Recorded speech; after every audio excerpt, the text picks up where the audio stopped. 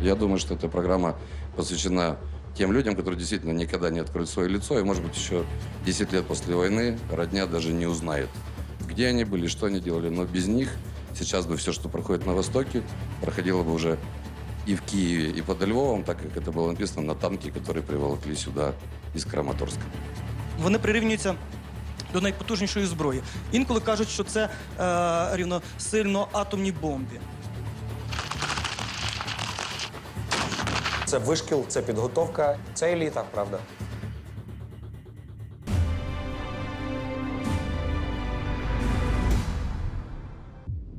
Храбрые сердца. Истории настоящих героев.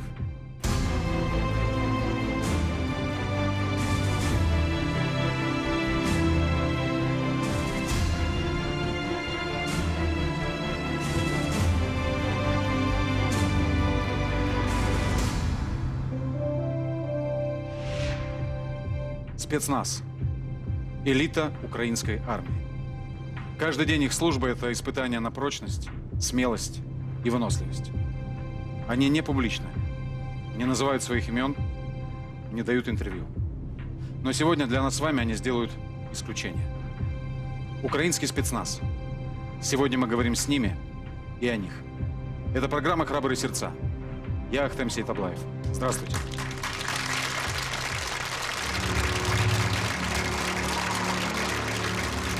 Вони були першими, хто прийняв бій і повіз за собою інших. Ми йшли попереду, прокладаючи дорогу. На вістрі були ми. Їх називають універсальними солдатами, українськими командос. Просто это самые подготовленные люди. еліта українського війська і нічні жахи ворога. Група це один організм. І тільки коли він працює злагоджено і чітко, група працює на піку своєї ефективності. Ніхто не знає їхніх імен, їхні завдання суворо засекречені. Їхня реальна кількість державна таємниця. Та хто вони? Загони спеціального призначення. Это сила, гордость и умение. Здолати десятки кілометрів небезпечної території це спецназ. Мы там, где другие не ходят. Провести операцію в тилу у ворога це спецназ. Нужна голова. Це ціла гра в шахмати. Розбити противника, який в рази перевищує чисельністю, і вийти без втрат це спецназ. Спецназ особлива категорія людей, здатних зробити ювелірну роботу на війні красиво і бездоганно. Воїни, яким зайвий раз не потрібно нагадувати, що за ними країна, герої, які не відступлять. Будьте впевнені, спецназ своїх не кидає.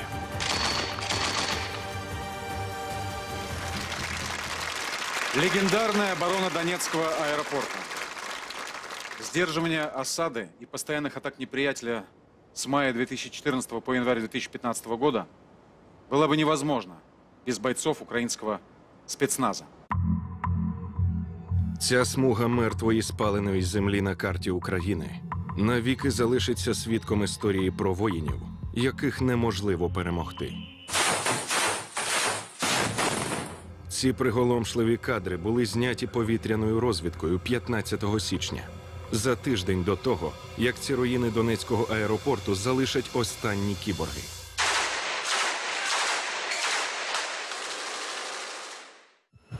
Вперше прапор ДНР підняли над аеропортом Донецька 18 квітня 2014-го.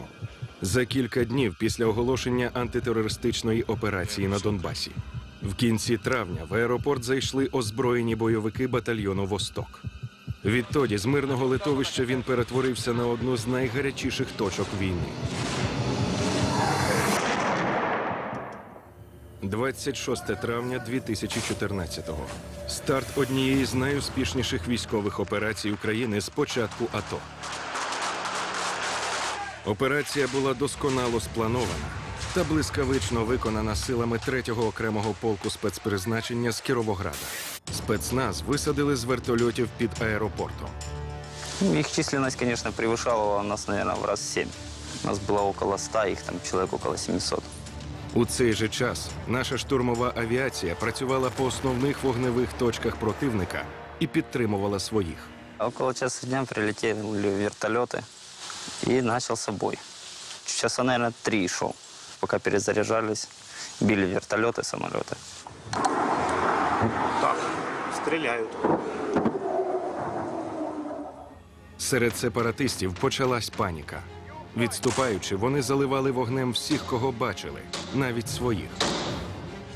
Завдяки злагодженим діям бійців спецназу українські військові укріпились у стратегічній будівлі на багато місяців. А вже у вересні аеропорт став найгарячішою точкою на мапі АТО. Бойовики стягнули до нього свої елітні підрозділи: Восток, Моторолу та Оплот. З нашого боку аеропорт захищають добровольчі батальйони, війська збройних сил, а для особливих операцій постійно залучають спецназ.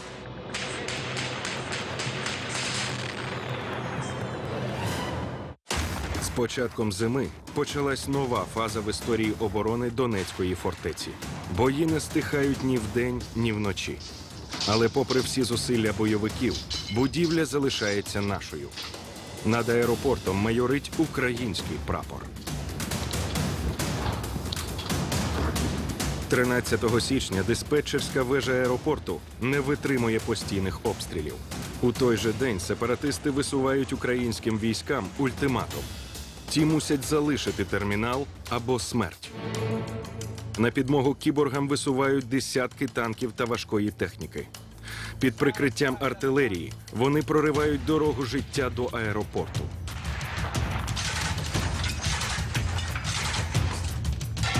«21 січня бойовики підривають перекриття нового терміналу.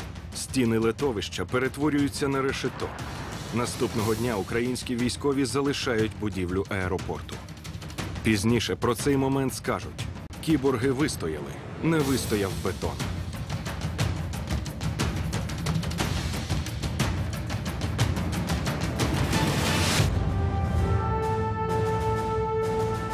Героїчна оборона литовища, що стала символом незламності українського духу, тривала 242 дні.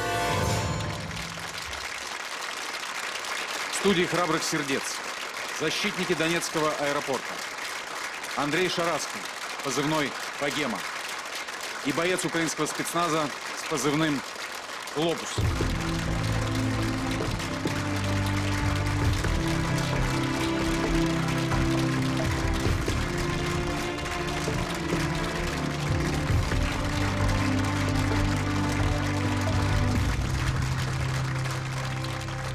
Я сразу хочу объяснить нашим зрителям, что ввиду повышенной секретности работы спецназовцев, сегодня в программе почти не будет звучать их полных настоящих имен. А некоторые наши герои вынуждены будут скрывать и свои лица. Андрей, вы наш старый знакомый, я очень рад вас видеть. Вы были участником одной из наших программ, программ «Храбрых сердец», э, посвященных киборгам, защитникам Донецкого аэропорта. Я могу спросить, где вы сейчас воюете? Ми розширили свої зони відповідальності. Е, слава Україні всім! Героям слава! Героям слава! Е, друзі, і взагалі е, ДУК, наш добровольчий український корпус, розрісся. Так що ми воюємо вже на більшій території фронту, наші підрозділи. А от а я конкретно зараз займаюся координацією наших е, батальйонів і з збройними силами, і якраз загонами спеціального призначення по лінії фронту. Ясно, спасибо за ответ. Глобус, я ведь не ошибусь, если скажу, что наш украинский спецназ, бойцы нашего спецназа участвовали практически ну, во всех самых горячих точках зоны АТО. Да. Вы можете сказать, где были вы? Я особисто брав участь в обороні Донецького аеропорту. Це ще коли не було проголошено АТО 26 травня 2014 року. Пізніше ми працювали в районі Слов'янська, Красного Лімана. Потім перекривали, брали участь в операції по встановленню контролю за державним кордоном на території Донецької та Луганської областей. Есть какой-то из боев или операций, которые запомнились вам больше всего? Ви знаєте, час від часу кожна згадується по-своєму. Напевно, самою такою великою, найбільше спогадів залишила саме операція по встановленню контролю над е, нашим східним кордоном. Тому що шлях довгий, шлях тернистий був. Особисто був в трьох засадах про участь. Ну, Щоб бути трошки ясніше пояснити, це спецназ виконував роль передового загону, коли ми проводили колони вдовж східного кордону. Ми йшли першими от, і були, скажімо так, на вістрі атаки. Андрей, а вот как вы оцениваете роль спецназа в защите Донецкого аэропорта? Ви знаєте, там, ну, по-перше, е, вони перші, хто взагалі туди потрапив, ще е, до оголошення АТО. Всю історію, як вони туди потрапили, як це ми вже потім спілкувалися з Редутом, з вашим командиром. А от як розгортались події, ще коли були паралельно м, входи, виходи, як прилітали вертушки, коли в старому терміналі дислокувалися, який не приймав на той час е, ні польотів, нічого, там нікого не було, окрім спецназу як вони облаштовувалися, і першими брали це під контроль. Ну і знову ж таки, ми прийшли туди на підмогу е, збільшити і вишкіл, і взагалі, якби ту роботу, яку проводить спецназ, її важко переоцінити. Недооцінити це запросто. Армійський спецназ, який працює, Е, Це щось. І той же редут, з яким е, мої хлопці, наші хлопці працювали, е, вони сказали, що за дві доби ми побачили реального командира і того командира, за яким можна йти хоч е, за лінією фронту. Тобто це вишкіл, це підготовка і це моральний дух, е, до якого ми всі маємо підтягуватись. Це ну, це еліта, правда. Скажите, Глобус, а в спецназе есть ну, структурирование, да, скажем, Ми намагаємося, щоб кожен воїн-розвідник нашого підрозділу освоїв хоча б дві військових професії, а в ідеалі це має бути три. Кожен боєць повинен у нас вміти е, поводитися з міною, вміти її заложити. От. е, Питання розмінування це вже зовсім інший аспект. От. Знати, що таке розтяжка, вміти її поставити. Ну і багато інших нюансів, які, в принципі, розкривати немає смислу. Ну, вон, в них задача дуже проста і зрозуміла. О, Якби, там вони заходять, куди ніхто не заходить, роблять ту роботу, яку о, не прийнято оголошувати на людях, зачищають все і виходять. І якщо їх е, помічають, то вони погано працюють. Да, действительно очень простая работа, Андрей, Да, судя по вашим словам. Действительно очень, очень простая работа. Я вот хотел спросить, ну, вот мы все знаем, что находясь в Донецком аэропорту, это, ну, собственно, находиться практически 24 часа под постоянными обстрелами. Что помогало сбросить напряжение? Перше, в будь-якому випадку повинно бути налажено чергування, бойове чергування. Друге, стріляють, не стріляють. От. Якщо немає великої загрози, все одно треба відпочивати. Зміні, яка відпочиває. Коли загальна тривога, ну тут уже вибачте, в. От. А взагалі хочу вам сказати слідуюче. Я відчув, сам відчув на собі, яку велику силу має дитячий малюнок. У нас в аеропорту була ціла стіна завішена. Приходила якась допомога, з ними були малюнки. От. Їх на стіни зразу вішали. Дивишся, вже й веселіше. От. Наприклад, пригадую, напевно, викладач, якась вчителька написала своєю рукою. Було дуже актуально тоді. Среднестатистический русский живет 62 года, Путину 61. Ждем, надеемся, верим. Ну і ми не були ще тоді 62. Э, Андрей, вы упомянули о командире, о редуте. Уже есть информация о том, что он представитель третьего полка спецназа, расположенного в городе Кировоград. Что он за человек? Почему именно за ним, как вы говорите, да, солдаты, причем любые, вот буквально двое суток проведшие с ним, под его началом, готовы идти хоть куда? Что такого в качествах этого человека? Це людина, яку зустрівши в повсякденному житті, якби і чи в кафе за чаєм, кавою, спілкуючись, ти ніколи не скажеш, що це кіборг, що це вишколений спецназівець, який перекачаний, здоровенний. Це милий, спокійний і добродушний, відкритий і щирий чоловік. Це перше, що кидається в очі. І в багатьох справжніх е, спецназівців, і ем, от, коли вони знімають балаклави, коли вони без камуфляжа і без всього озброєння, це надзвичайно щирі, відкриті е, люди, які вміють радіти життю. Але от якась така правда і щирість, це можна назвати ще справжністю. Справжність така чоловіча залишається. Редут, він власне, він власне такий скромний, відкритий і щирий. Ви своїм питанням нагадали мені один епізод. і Я би хотів розказати це як маленький штрих до портрету цієї людини. Ну, всі ми дивилися новини, всі оце от якраз час, коли березень, квітень. От, проходила така інформація, що одна частина в Донецьку склала зброю, силова, друга, третя. Ну і само собою це все дивиться особовий склад. І це ніяк не може, все одно впливає на людину, на будь-кого. Ну і редут дивиться на це все. І каже, так, всі командири до мене. Приходять командири і кажуть, і він говорить їм слідуюче. Так, вбити с- підлеглим слідуючи в голову. Навіть якщо я зійду з розуму і скажу скласти зброю, мій наказ не виконувати. Я с большим удовольствием хочу представить экспертов и гостей в нашей студии. Здесь присутствует наш коллега, военный корреспондент телевизионной службы новостей медиахолдинга 1 плюс 1 Александр Загородний. Здравствуйте.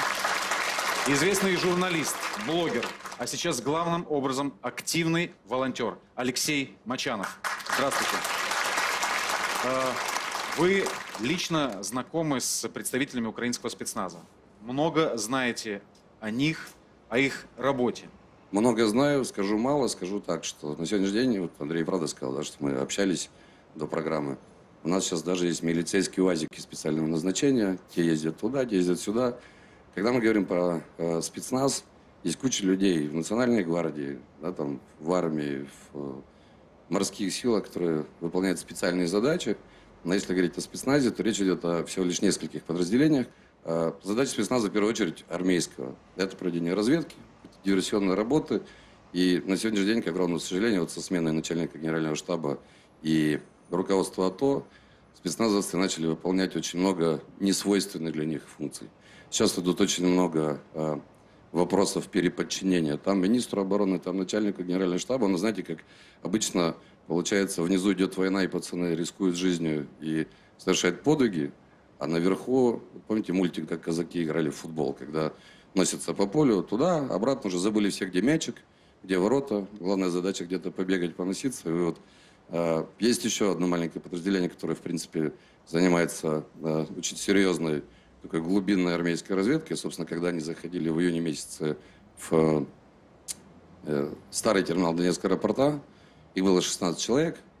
Им не сказали, куда они летят, из чего было там, оторвали у кого-то половину карты в надежде, что э, летчики знают, куда они их везут. Э, Зашли туда и получили команду зачистить практически 3 гектара на новом терминале. Вот эти 16 человек, правый сектор и третий полк спецназа, стояли, оценивали объем работ. И вот, к сожалению, пацанам очень часто приходится справляться с заданиями на месте, выяснять, э, что, где, когда. Силы, и Андрей совершенно правильно сказал, когда их видят, когда о результатах их работы э, узнаешь во время работы, это значит, что они отработали плохо. Всегда хорошо, когда ты пришел, а там уже были спецназовцы 3-го, 8-го полка, 140-го, э, донузлавцы, моряки. э, ну, а потом уже подъезжает там рота специального назначения с Витязь с Фацаком, где милиционеры до момента первой танковой атаки умели только брызгаться черемухой и одевать наручники, а пришлось по ходу дела учиться стрелять из мух и э, выполнять ту работу, которая, наверное, тоже специального назначения. Но я думаю, что эта программа посвящена тем людям, которые действительно никогда не откроют свое лицо, и, может быть, еще 10 лет после войны родня даже не узнает, где они были, что они делали. Но без них сейчас бы все, что проходит на Востоке, проходило бы уже и в Киеве, и под Львовом, так как это было написано на танке, который приволокли сюда из Краматорска. Это люди, которые находятся все время на самом передке и за передком. Они должны быть одеты, ну, не знаю, как универсальные солдаты. А мы имеем 300 спартанцев, которые щит, копье, побежали, ворвемся, там разберемся. У кого была каска? Я говорю, у меня, у меня. Я ему даже сразу сказал, какой рисунок. И вот эту каску с этим рисунком он немножко обгорел, запачкался. Ну, Хороший снайперский набор стоит 15 тысяч евро винтовка, 10-12 тысяч евро прицел и около 16 тысяч евро ночной прицел. Плюс 9 евро каждый патрон. Из этих людей можно делать гвозди. Саме е, в такій війні роль спецназу буде визначальна. І якщо ми зараз втрачаємо цих людей, це буде дуже велика проблема.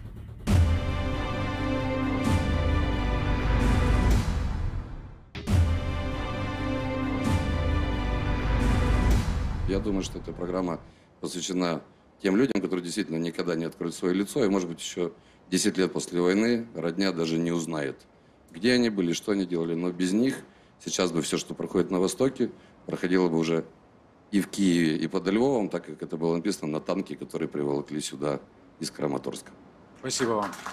Александр, вы часто были в Донецком аэропорту. Поделитесь своими ощущениями, впечатлениями. Я, я пишаюся цими хлопцями із спецназу, але долучаюся до слів Олексія, що вони не завжди, а в більшості своїх е, свої, часу виконують не властиві для себе функції. Наприклад, Донецький аеропорт, чи вони повинні його були брати? Так, очевидно, це робота спецназу. Але чи утримувати його не повинні були? Очевидно, що ні. Тому що це, я не знаю, це приблизно як в, в, пічці палити там доларами, да, наприклад. Це найкраще підготовлені наші бійці. А в багатьох країнах світу я знаю, що вони прирівнюються до найпотужнішої зброї. Інколи кажуть, що це е, рівно сильно атомні бомбі. Тобто вони можуть виконати завдання в тилу ворога, знищити якийсь об'єкт, звільнити заручників, захопити язиків і оцими людьми тримати Донецький аеропорт. Тобто дуже часто, я не знаю, можливо, це буде зараз дискусія, але наш спецназ, який, е, наші хлопці, які готували багато років, вони виконують роль просто мотопіхоти або просто піхотинців, які тримають оборону, і, яких вибивають в цих місцях, тому що ворог пристрілюється. Е, Ви розумієте, чим ми зараз жертвуємо?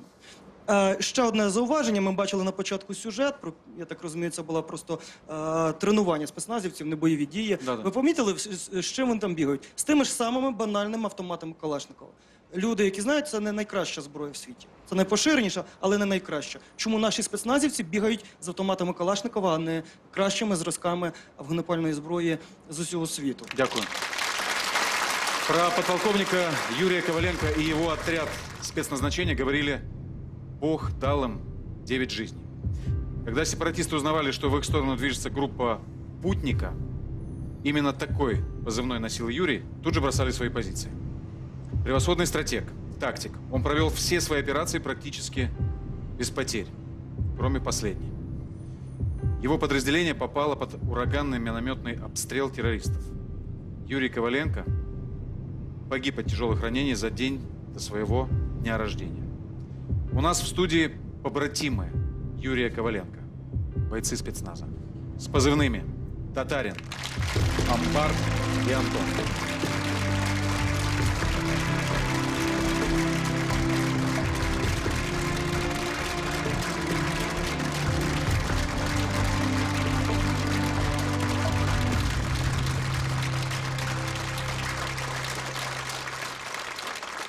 А ваш командир Юрий Коваленко, вот хотелось бы о нем услышать поподробнее. Расскажите о нем, как о человеке. Я вам заменяю отца и мать. Он всегда міг, от в мирне время він всегда міг підсказати, як можна зробити, як треба зробити, як буде правильно. Ну, це командир, який, ну, немає слова, як сказати, який він був командир. с большой буквы. Ну, забув з большої букви командир. Він завжди йшов впереді, він їхав на першій машині. Він завжди приймав бой першим. Любой командир несет ответственность за своих бойцов. И он именно тот командир, который, которого я хотел бы видеть возле себя. Таких бы побольше людей. Глобус, это правда, что Юрий Коваленко спас вам жизнь? Да, так сталося, що з 6 квітня я ні разу не був вдома. Він довго мене сватав, він сватав мене тиждень. Потім сватав два тижні, казав, що їдь додому. А потім в мене з ним вийшов маленький такий, ну не то, що скандал, а непорозуміння сказав, ти їдеш додому. Це наказ. Після того я разом з групою, яка теж їхала додому на побивку, виїхав. І благополучно доїхав додому. На слідуючий день, коли ми приїхали, зранку мені перезвонив Юра. І сказав голосом, я від нього такого голосу ніколи не чув. Просто поцікавився, як справи. Ми з ним так переговорили нормально. А після обіду сталося те, що сталося. Отправив вас домой, он Да. спас вам жизнь. Я понял. Да. Наши журналисты подготовили сюжет о Юрии Коваленко. Впереди, вот там, где дымит, тоже передок, то линия фронта. Турник, брусья. Никогда не расставались со спортом. Моя хатка.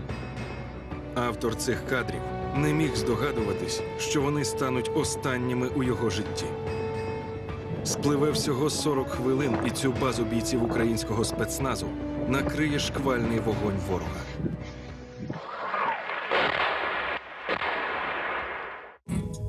Луганщина, 15 липня 2014 року. Пізніше цей день бійці Кіровоградського спецназу назвуть чорним. Тоді, вперше за довгі місяці, загін під керівництвом відомого спецназівця Юрія Коваленка поніс великі втрати. У бою загинули вісім бійців. Відкрили вогонь по нашій базі. Хлопці попали під мінометний обстріл. Потім почали систематичні обстріли зі сторони Російської Федерації, градами і всім остальним. Это очень страшно, очень страшно. Мы побежали там вдвоем. Я увидел сначала своего товарища, близкого очень, с пробитой головой. Серед тих, кому не вдалося врятуватись, був і командир розвідників Юрій Коваленко. Хлопці кажуть, ціллю ворога був саме він. Безпілотник з самого утра кружляв над нами. Получається, вони зняли точні координати, точно виставили. На Юрія Коваленка з позивним Путнік велось справжнє полювання. Сепаратисти навіть оголосили винагороду за його життя цілий мільйон доларів. Они много слышали, они много знали, что делает путник, его очень боялись. Мы выезжаем, вот путник едет, путник едет. Все, они по норам. Незважаючи на полювання за ним, Путнік не ховався за спинами своїх бійців.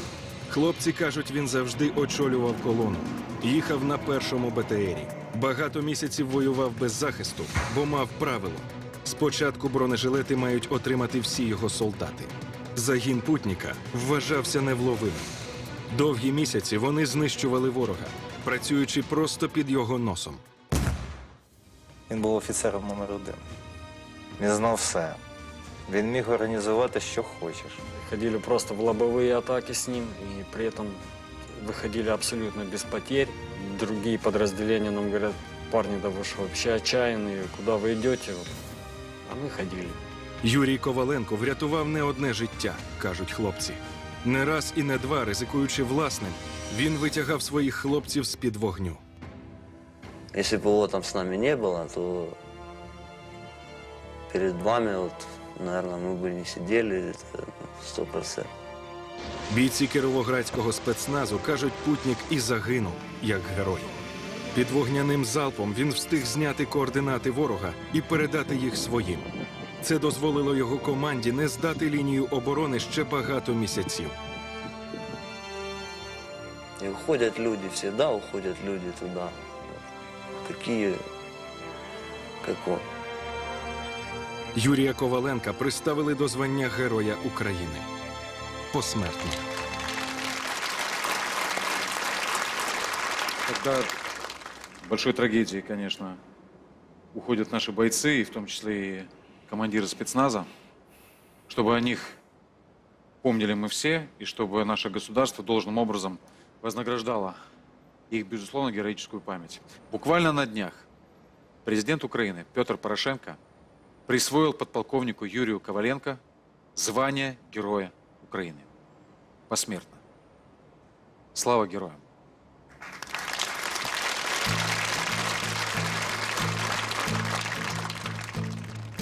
Протекла, мов кров з ножа, по степу тонка межа, ліворуч битва, а справа бій, чигає смерть у далі голубі.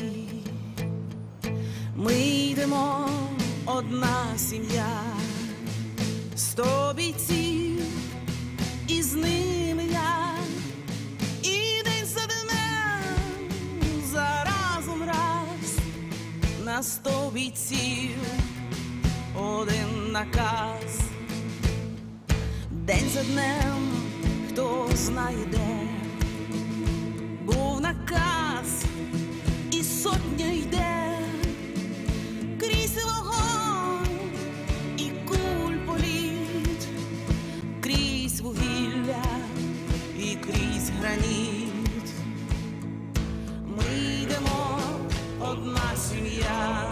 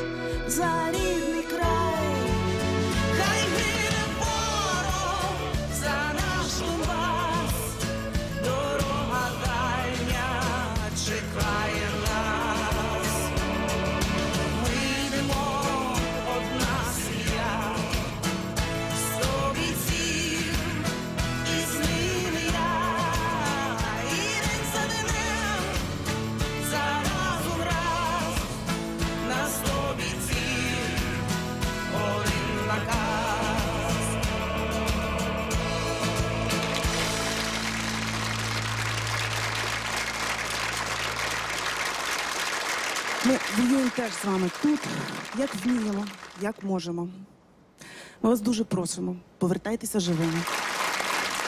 Как может воевать страна, на каком нерве и на каком пределе, если в спецназе все равно все привезли волонтеры, каски и бронежилеты раздали волонтеры, и командир себе оставляет последний бронежилет, последнюю каску, когда в первую очередь именно этим людям страна, а не какие-то бабушки и дедушки, которые собирают по последние 20 гривен по деревням, должны обеспечить их с ног до головы. Это люди, которые находятся все время на самом передке и за передком.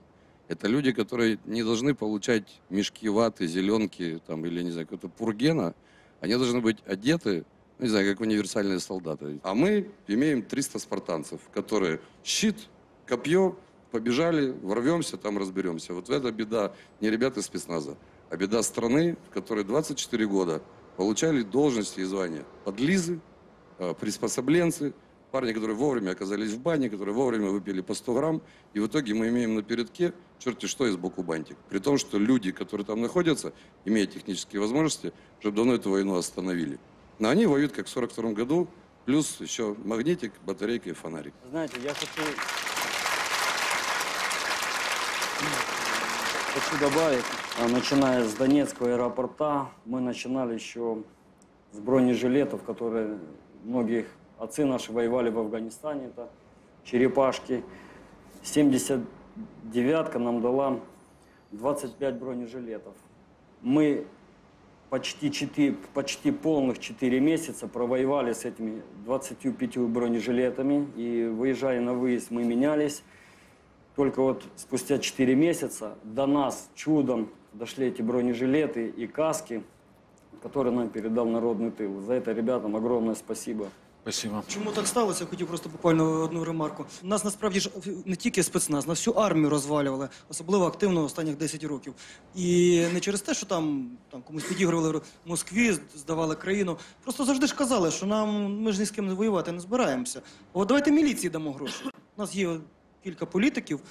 Я думаю, що люди знають і кажуть, для чого давати гроші армії? Давайте мені в Міністерство внутрішніх справ, тому що я займаюся справою. Ми будували ну, держа... е, президенти будували поліцейську державу, не- а не армію. От звідси все причина, проблема. Быт в разведке, он какой?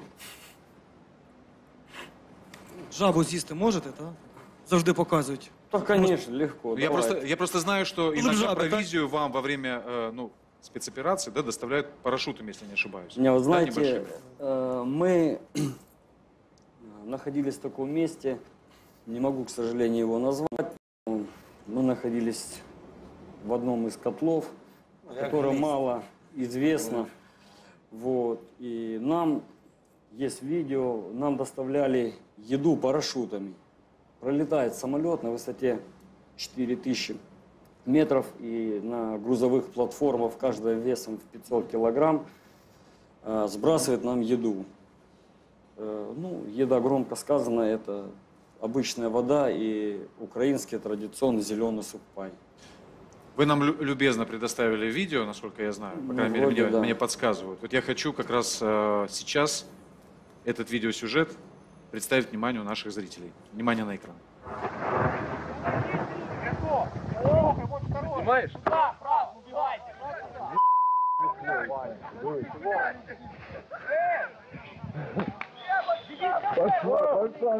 Отойди, отойди!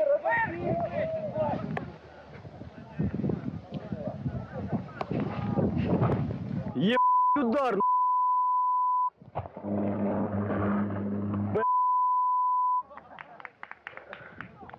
Вверх. Ребята, а часто так происходит? Ну, вот так- такой способ доставки провизии. Ну, если я не ошибаюсь, то такой способ доставки именно продуктов было раза два, наверное, не больше. А потом все чаще и чаще начали сбрасывать артиллерийские снаряды, которые мы собирали и развозили артиллерии нашей, которая тоже стоит на передке. Проблема вот в таком вот методе, э, когда самолет летит на вы- на высоте 4000 метров и сбрасывает э, провизию или там снаряды, сложность в сборке. Не каждый пилот сможет точно выбросить, учитывая порывы ветра, радиус разлета. Упали посылки, проблема в том, что их еще надо собрать. Ведь не только мы видим, что летят посылки, и начинается гонка, кто быстрее, кто проворней. Повезло, если упала рядом. Вот одна посылка в конце слышали, гудела, упала на линию электропередач. Ну, висела, висела, пришлось ее отстрелить, чтобы она упала. Ну, раз 5-7 были посылки разные, а потом все. Сбили самолет и все. А вот местное население, помогают они? Сразу пытались наводить агентурную разведку, там, общаться с местными а, под разными предлогами. Ну, не все там козлы. Не все. Э, Там, где вот мы были, у нас были действительно огромные, большие проблемы. Э, Среди всех, там, я не знаю сколько, 100 человек, 200 встречал. Кто-то кидал камнями, кто-то в магазине вообще ничего не продавал. Э, Был один товарищ, Богданыч на него мы говорили. Он местный сельский голова. И он втихаря от всех э, раз в неделю пытался нас как-то подкармливать. Там бывает, что мы проезжаем на броне, он нам привяжет барашку к дереву, мы знаем, что это он М, таким вот образом в тайке от, от всех э, пытался нам помогать, но, к сожалению, люди об этом узнали, что он помогает украинской армии, его предупредили, ему угрожали, а потом этот человек просто исчез, и судьба его неизвестна. Но он нам помогал, и благодаря ему мы многое что делали именно по нашей специфике, по нашим задачам, по нашей работе. Парни с 95-ки рассказывали про вот эти вот способы э, сгружения э, еды. Когда все это залетало за забор, то они говорят, что самые ожесточенные бои были как раз за контейнеры с едой. Да. Потому что, правильно ребята говорят, не только пацаны наши видят, кому это все летит. Это не ларек, на котором написано там чужое руками не трогать. Поэтому вот эти вот э, бой, бой за воду и еду. Я помню просто Арсений Петрович Яценюк как-то приехал на один из полигонов, и ему очень понравился этот зеленый сухпай. Я, честно говоря, когда-то взял ящик с собой. А, Я люблю гречневую кашу, на самом деле. Но вот ту гадость, которая там есть в банке, вот, я дома ее пожарил, лука добавил, помидорчик дорезал, да, там маслица налил. Все равно гадость жрать невозможно. Я предлагал, правда, э, Арсений Петрович сумел отпетлять это. Говорю, Арсений Петрович, вам понравился сухпай? Давайте мы на две недели выделим вам завтрак, обед и ужин. Это же несложно. Причем воду вы можете пить самый лучший. Но вы работаете, как работали, вы ездите на той же машине, у вас охрана, все. Но едите вы утром, в обед и вечером только вот эту зеленую гадость, которая вам очень понравилась. И мы просто там в прямом эфире любого из телеканалов берем у вас вот этот, как он, УЗИ до и через 10 дней. Я думаю, что ну, две недели вы не протянете на этой гадости. И я по-прежнему считаю, что у нас с точки зрения людей, из этих людей можно делать гвозди. Этот спецназ готов выполнять любые задачи, которые будут поставлены. Но мы обязаны э, обеспечить им э, технические и человеческие возможности заниматься той работой, на которую они готовились. Они должны бегать за дедушкой и ждать, к какому дереву он привяжет барашка. Что очень хотелось, чтобы там было привязано 150 баранов, и каждый из нас знает фамилию, имя и отчество каждого из этих баранов. Ну Вот э, возвращаясь к, к обеспечению спецназа, э, не только взрослые волонтеры, я знаю, помогают э, нашим украинским бойцам, но и дети. Я знаю, что у вас история есть связанная с тем, что в вашу часть и к вам попала каска с детским рисунком, да, если я не ошибаюсь? Да, есть действительно такая история. Я вам расскажу сейчас случай, то, что случился со мной. Мне все спрашивают, а что ты с каской?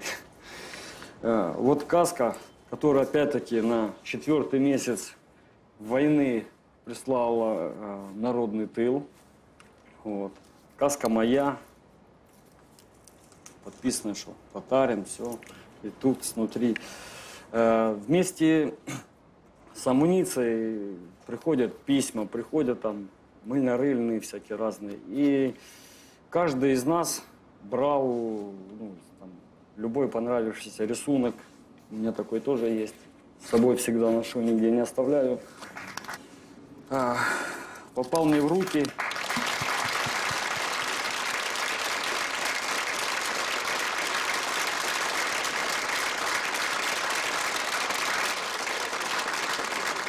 Кличко по ветке. А, Я не знаю на самом деле, что среди такого количества рисунков меня заставило взять именно этот. Ну, Сейчас я не могу это объяснить. В общем, я взял себе и именно в эту каску волонтерскую. Я ее так вложил, и в этой каске бегал, ходил на задачи.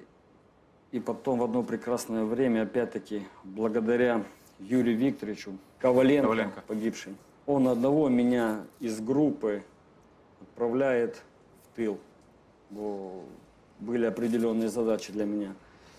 И когда я уезжал, я эту каску оставил товарищу Ива- Ваня Марков, кличка Рязанец. Я уехал, и на следующий день случается непоправимое горе. Гибнут товарищи наши. И спустя, если я не ошибаюсь, 24 дня приезжает мой товарищ и спрашивает. Я нашел каску, а в каске был детский рисунок. У кого была каска? Я говорю, у меня, у меня. Я ему даже сразу сказал, какой рисунок, что это за каска. И вот эту каску с этим рисунком он немножко обгорел, запачкался. Ну, он вернулся опять ко мне. И Вы знаете, знаете автора этого рисунка? Сейчас уже да. Этого мальчика, автора рисунка, зовут Гриша Цвеленев. И сегодня он в нашей студии.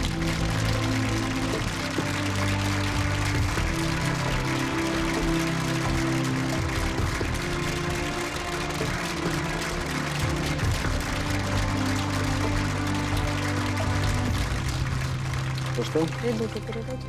Здравствуй, Григорий. Здравствуйте. Я рад тебя видеть. А, Это вот от нас. Это книга «Лид. Факты. Знаки в перецветия». Спасибо. А, только что Гриша дает мне рисунок. Я покажу. И говорит, передайте это редуту. Я вам покажу его. Вот. Слава Украине. Крути украинцев. Я два слова скажу. А, Когда мы первые выезды делали, а, нам очень много приносили рисунков. И первый раз, когда мне передали пакет с рисунком, это вся школа на теремках собирала, я его чуть не забыл отдать на Кручине. Как ну, там, выгружались быстро, это, это. Задачи ставились там вплоть до стиральной машинки и генератора, ну, потому что людям надо стираться. Я говорю, подождите секунду, вот как раз между там сиденьем здесь осталось. Я когда прошел по Карачуну, я увидел, что на каждой позиции, возле каждого спальника, вот это все собрано бережно, приклеено. И наблюдал же даже у десантников э, ситуацию, когда проходил боец, видимо, там только приехал, еще не отдает себе отчет. И рисунок у него две верхних вот этих вот э, изоленты от- отклеились, и он так повис. Парень прошел мимо, его двое догоняет, подсек и говорят, слышишь ты, ты можешь не жрать, ты можешь не спать.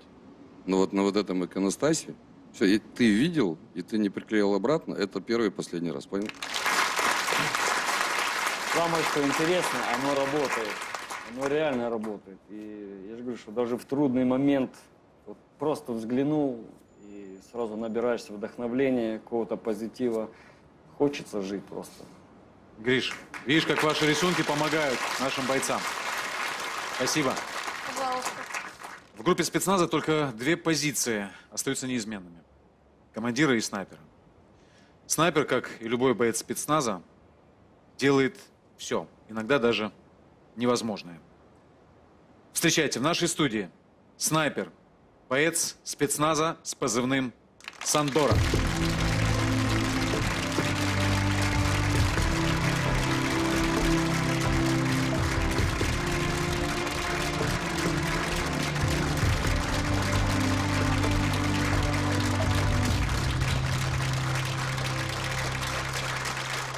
Могу у вас спросить, в каких операциях вы принимали участие? Дон- Защита Донецкого аэропорта.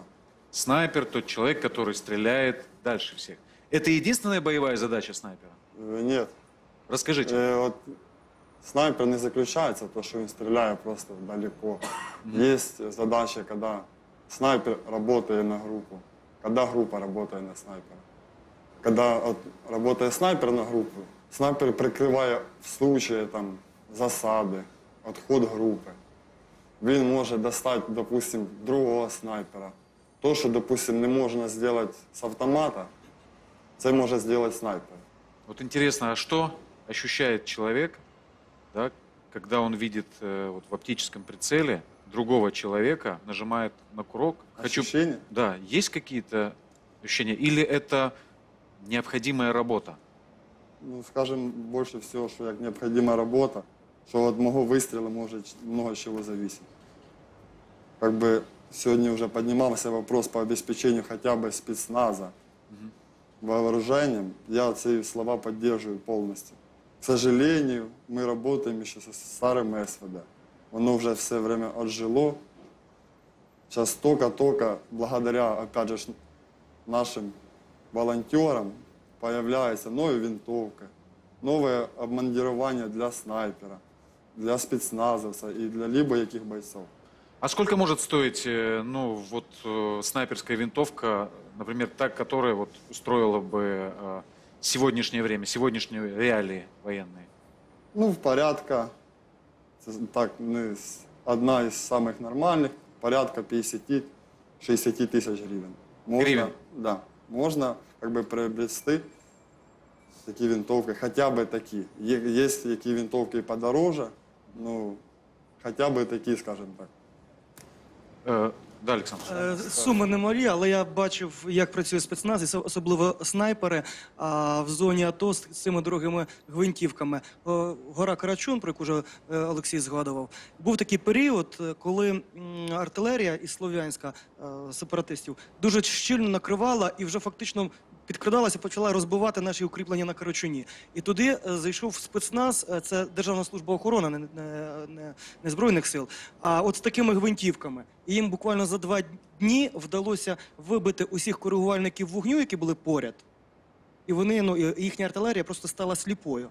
І розказали історію, що їхні хлопці, наші снайпери, дістали їхнього коригувальника, який не ховався, він знав, що він стоїть дуже далеко. Майже два кілометри було до нього. Він просто стояв, бородатий, схожий на чеченця якогось чи там, ну, десь з Кавказу. І він просто стояв біля цього бінокля, керував, підняв руку, і хлопці кажуть, ми його не дістанемо. А командир каже. Давайте попробуємо. І вони спробували з трьох е, гвинтівок вистрілили, з поправками зробили поправки на вітер в різні точки. І оцей коригувальник як стояв з рукою, так і пішов назад. І фактично, я не знаю, чи можливо це можна говорити, що Карачун врятували тоді, але те, що була виконана величезна робота, врятована велич... велика кількість людських е, життів, один снайпер. Ну там їх була група снайперів, Вот вони как раз одне не возвращаемся працюють. опять э, к Але вопросу так. об, об- А обеспечении. вони були з гвинтівками, здається, тоді, якщо я не помиляюся, таки британського виробництва. Ну да, сложно. Позывной «Сармат». Я воевал в батальоне «Донбасс». Здесь речь идет э, о чем? О том, что СВД работает там 300-500 метров, 300-500 метров, а 12,7 калибр, ну, я не знаю, 50-60 тысяч маловато, я знаю там цифры от 10 тысяч долларов, 20 тысяч долларов хорошие винтовки стоят. И как наши ребята снайпера говорили, вот помню, по Лисичанску, ну как я могу с ним работать, если, говорит, он 1200-полтора работает, и я его вижу, как он работает, но я туда не достану. Вот, то есть Я- невозможно, невозможно воевать с противником, э, Ну, не имея возможности да, просто, э, просто достать его, да, просто достать его физически. Я вот как раз хотел вот э, продолжить ваш вопрос. Скажите, Сандора, а существуют, да, ну, вот такие э, вещи, как дуэли снайперские, ну, или, скажем, охота снайпера на Ну, снайпера? От в мене ще знаходиться колега снайпера, які от недавно, виходить, вони відработали одного снайпера. Ну, скажімо так, це було тяжело, тому що працювали з 800 метрів. З СВД, скажімо, попасти в 800 метрів в голову, ну, навіть в мене прицел зараз стоїть не ПСО, то це дуже тяжело. А какими качествами должен обладать снайпер? Выдержка, моральная устойчивость, ну, и хладнокровие. А как вы готовитесь к операции? Надо узнать побольше о местности, ка- на якій ти будеш работать, щоб ти смог подготовить себе обмундирование, маскировку, це в первую очередь. Ну и цель, выяснение задачи. Наведем пример, да? Вот я выхожу в кикиморі рыжого цвета, а там зелена трава вже стоїть. То як ви думаєте, мене буде видно? Саме головне знати місцевість і осніть задачу. Алексей, вы? Я рад, что Сандора думает, что все это стоит 60 тысяч гривен, наверное, по курсу 3,5, да? Его уже давно не было. А, Хороший снайперский набор стоит 15 тысяч евро винтовка, 10-12 тысяч евро прицел и около 16 тысяч евро ночной прицел. Плюс 9 евро каждый патрон. Я просто присутствовал при том, как паковали э, ребят, как раз, передать это все на вышку Донецкого аэропорта, откуда звонили ребята 79-ки, снайпера, и говорят, слушайте, либо привезите мне нормальное ружье, либо привезите мне штык-нож и изоленту. Я его приватаю к СВД, потому что если я буду его кидать как копье, толку будет, в принципе, столько же. Сейчас, так, чтобы разрядить обстановку, не буду говорить, где, не буду говорить, кто, но история очень смешная. На одной из точек передка э, в одну из подразделений попал парень Ну, его называли Вася, которого не жалко. Э, Получилось так, что, видимо, у него не было денег дать военкому, э, ну, чтобы отмазаться от армии. Может, военком не взял. А так ребята, в принципе, между собой разговаривали, что, наверное, все село собиралось деньгами, чтобы еще его туда и, ну, выпихать. Ну и человек абсолютно бесполезный. Реально дебил. Э, Дали лопату, там, треснул себя по ноге. Попросили залить в э, генератор солярки. Э, Облил все вокруг, но в генератор ничего не попало. Попытались научить стрелять из мухи. Первый раз чуть не стрельнул не в ту сторону, второй возле стенки. Ну, короче, чуть не погубил людей. А он же жрет, да, там, спит, храпит. Ну, это только в правом секторе добровольцы могут добровольно прийти и добровольно уйти. А вообще в вооруженных силах Украины говорят, что добровольно прийти ты сюда можешь. Но добровольного выхода отсюда не существует. И работала недалеко от этой точки снайперская пара. Командир принимает решение, говорит, Вася, одевайся. Одевай броник, каску, тебе надо пробежать здесь вот, ну, 4 квартала. Мы сейчас там на верхней точке у нас работает корректировщик, карта уже там заряжена, все там, кабанчики на ниточке, все в порядке, но надо э, вытащить их, чтобы они обозначили себя. И причем ты такой дебил, что в тебя не попадут, ну, потому что ты против закона физики. А Вася говорит, это не страшно. Командир говорит, мы 200 грамм водки нальем, когда прибежишь. Ну и он побежал. Э, Снайпер стрельнул два раза. Э, Первый раз не попал, видимо, ржал, а второй же на нервах. Третьего раза не было, потому что корректировщик дал точку, прилетела рта, больше этой снайперской пары нет. Тот прибегает говорит, командир, давай 300 грамм, а не 200. Потому что это так страшно, ты меня обманул. Но на сегодняшний день вот это бесполезное чудо, которое там два с половиной месяца, реально просто парни не знали, куда его закопать. Ну, ну, реально вот вредитель. А, На сегодняшний день герой войны э, спас кучу людей, потому что снайперская пара работала плотно, и она не знала, что когда пытались умных людей отправлять на снайперов, ничего не получалось, потому что снайперы умные. А попадается один дурак, и вот представьте, какая, какая радость. И как обидно снайперской паре, что победила и Вася, которого не жалко. Вот так. Сандора, чем занимается в гражданской жизни? Ну, я 4 года уже в армии нахожусь. Э, вообще по профессии автослесарь. Личный вопрос. Девушка есть у вас? Женат. Вы женаты. Замечательно, я вас поздравляю. Я вам, один маленький, я вам один маленький секрет раскрою. Просто э, у нас один из режиссеров девушка. Это она меня попросила задать вам этот вопрос. Кодекс чести Вот, снайпера да. – это не носить обручальное кольцо. Поэтому только он мог заметить, что ты не женат. Э, ну, скажем так, я ж не на задании. Когда я выхожу на Ага. задание, то у меня, на мне вообще ничего нет. Ни знаков различия, ничего. Супруга знает, чем занимается? Да? Не поймите правильно, но война – это никакой романтики. Война – это никакой красоты. Война – это э, отвратительные запахи и картинки. И тяжело спра- спрашивать человека военного, там, что чувствуешь, когда стреляешь в чужую голову. Ты чувствуешь просто, что если ты не попадешь в эту голову, то разнесут голову твоему товарищу. И речь сейчас не идет о спецназе. Я, например, знаю, когда готовили другое подразделение, то э, командир брал на себя, ну, такую смелость, да, которую там тяжело озвучивать э, в обычной жизни, чтобы вы просто поняли, что такое война, из которой нельзя делать красивую картинку. Парней выводили на серьезную работу, каждый должен был взять с собой щенка, дать ему имя, 10 дней с ним заниматься, кормить, все. Потом в определенном в общем кругу, когда все это заканчивается, боевая задача, надо было этому щенку перерезать горло. Потому что нету жалости, нету ничего. Людей готовят к войне, людей готовят к заданиям, а, которые спасают тысячи жизней. Если в данный момент ты себе будешь представлять там какие-то там моральные устои, не должно быть у снайпера никак там кодекс чести. Не стрелять беременных женщин и в детей. Вы знаете, что к нам пришел дедушка на блокпост, оставил меда, банку, да? Она потом взорвалась. И таких историй, их озвучивают очень мало, потому что все-таки хочется там добавить какой-то красоты. Война – это очень страшная штука. Каждый из этих пацанов, делая свою работу, меньше всего хочет думать, что он убивает какую-то конкретную фамилию, имя, отчество. Он защищает нас. Как у ребят, которые там бегут в Альфе с большим щитом, спрашивают, сколько ты убил бандитов? Он говорит, лучше спроси, сколько я своих пацанов спас. Вот за этим щитом, по которому лупят первым. Спасибо. По поводу кодекса чести, э, ну, мы имеем дело с россиянами и воюем с россиянами, поэтому ни о каком кодексе чести, э, по-моему, речи не может быть. Э, Потому что, допустим, когда мы выходили из Иловайской и под Красносельским въехали в засаду российскую, первая машина, которая была подбита из нашей колонны, это с ранеными автомобиль грузовой с огромным красным крестом на борту. И она разлетелась в пыль. Вот такая этика войны этой. Хотел бы познакомить наших зрителей, которые сидят здесь в студии и которые будут смотреть нашу программу, э, чуть поближе с вами и с вашим подразделением. Ваше подразделение, ну, практически сейчас, пока на данный момент, малоизвестно.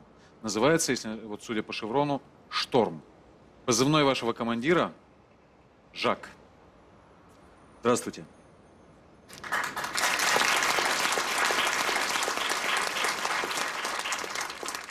Нам известно, что во время Иловайского котла вы вывели из окружения около 400 бойцов. Да, была такая ситуация, когда приходилось уже работать не как спецназ, а как доктор, фельдшер или просто простой парень, который гуляет там где-то по полю. Так что в большом э, случае здесь э, помог как бы случай, что мне так пришлось удачно проникнуть на ту территорию и вернуться целым и вывести такое количество людей. Спасибо. Жак, скажите, а что это будет за спецподразделение с названием «Шторм»? Командованием Национальной гвардии было принято решение создать э, подразделение «Шторм». Это отдельная рота э, штурмового спецназа, которая будет работать э, в определенном секторе, я сейчас не буду говорить где, которая будет проходить обучение в тренировочном лагере, который будет в ближайшее время, она убудет. И проводить будут там высокопрофессиональные специалисты, как э, нашей армии, так и других подразделений. Там будут и инструкторы из других стран, а также будут еще инструктора из других подразделений, которые вот э, как э, 95-я бри- бригада воздушно-десантная, вот 79-я, э, в общем, тактика, которую они будут проходить, это тоже э, ребята будут участвовать с этой э, группы. Мы побывали на вашей базе и увидели, как проходит подготовку добровольческое подразделение «Шторм».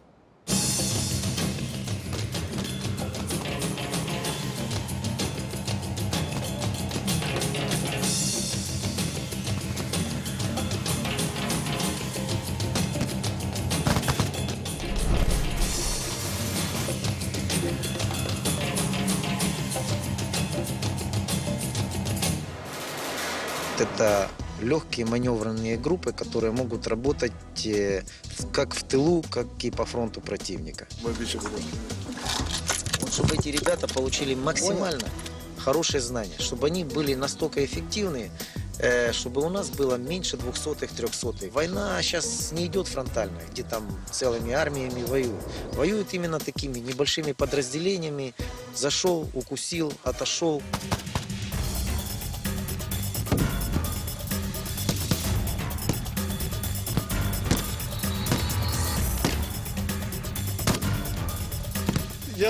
Вивчив військову справу, коли почалась війна. Я пішов на війну добровольцем, вже воював. До цього я працював простим будівельником.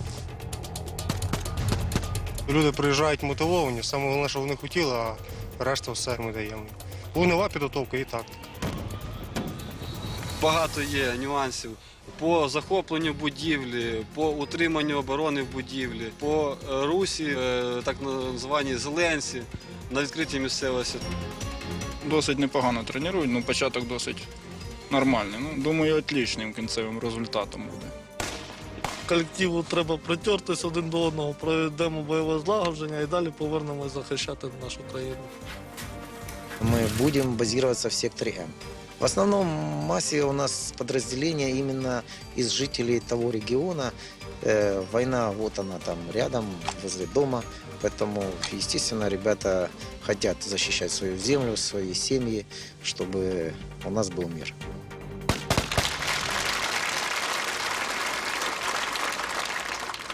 И я, пользуясь случаем, хотел бы сказать, что если есть еще ребята, которые хотят послужить Родине, которых Родина – это не просто простой звук, а э, честь, гордость, человеческое братское плечо, э, я бы хотел их всех пригласить в это подразделение э, и пройти э, службу вместе с нами. Акцент у нас, э, в принципе, делается очень сильный на то, что это э, человек должен быть абсолютно здоров, воинская дисциплина большое значение имеет, и работа в группе, в коллективе, потому что спецстраз работает на результат, работает группой, и нужна очень хорошая слаженность коллектива. Поэтому отбор жесткий, но приходят и проходят самые лучшие. Поэтому часть людей у нас уже набрана, еще небольшая часть, э, есть вакантные должности, мы хотели бы видеть. Цей подполковник заходив в кросовках, в шортах, в нього свій оружейносець. Він три дня дивився телевізор, пролежав на дивані. Дружище, Він дружище. навіть не поінтересувався, де які пости знаходяться. Цих історій мільйон. Я извиняюсь. І, і, і Льоша тільки що говорив, а що робити?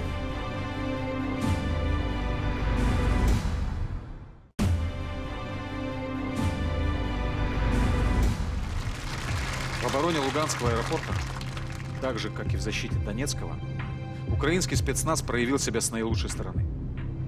Так, в июле прошлого года отряд из 25 бойцов, костяк которого составляли наши спецназовцы, выдержал атаку на блокпост Георгиевский, единственную связующую между защитниками аэропорта и подконтрольной Украине территории. Учитывая стратегическую значимость блокпоста, враг бросил на его захват силы, многократно превосходящие силы защитников. Встречайте, в нашей студии участники того боя.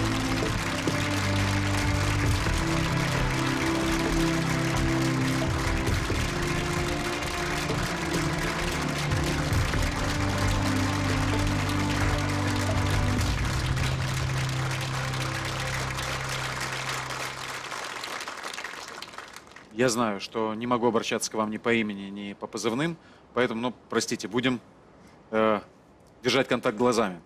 Э, я просто хочу, ну, разобраться по порядку. В середине июля был совершен прорыв к Луганскому аэропорту. Какая задача стояла перед вашим отрядом?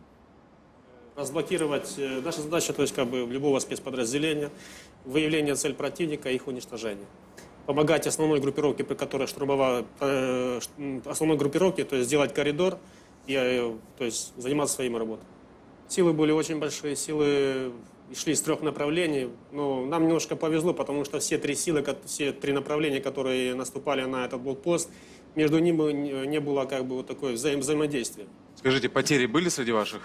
Именно среди нашего подразделения потерь не было и не было раненых. Ну, т- поскольку как э, только были травмированные, но в подразделениях, которые находились тоже на блокпосте до боя, и в течение боя у них были потери и были раненые. Наши журналисты побывали на одной из баз, где готовят украинский спецназ. Спецназ еліта української армії. Підковані морально, фізично і тактично. Ці бійці працюють у надскладних умовах.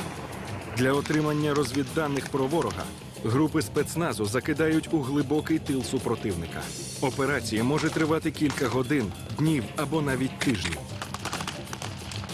Буває і просто пройтися, можна подивитися, зібрати інформацію. А буває, що можна і вступити в бій після бою, якщо все добре, теж збирати далі інформацію, працювати.